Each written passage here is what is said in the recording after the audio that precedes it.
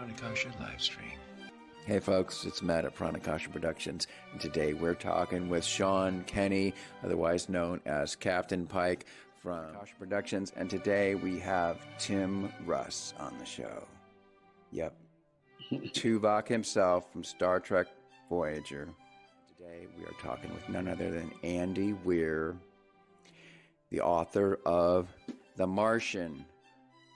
Folks, it's Matt at Pranakasha Productions, and today we're talking with Erica LaRose. Hey folks, it's Matt from Pranakasha Productions, and I just happened to be walking down the street, and what do you know, in front of CBS Studios, we got the Writers Guild strike with Joe Rousseau running the show today,